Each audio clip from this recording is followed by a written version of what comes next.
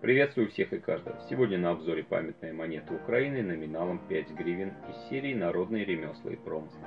На канале есть обзор на другую монету этой серии, его можно найти по ссылке в описании. Ну а сейчас Бакорож. Кто это?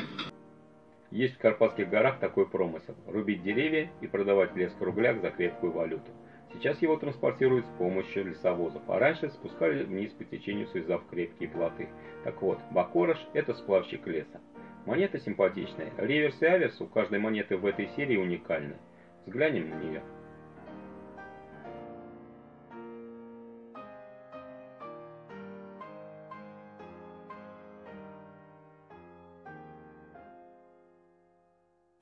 Характеристики монеты. Номинал 5 гривен, диаметр 35 мм, качество чеканки бриллиантом циркулейтед, материал не зильбер, тираж 45 тысяч. Над дизайном монеты работали художники Владимир Таран, Александр и Сергей Харук и скульпторы Святослав Иваненко и Анатолий Демьяненко.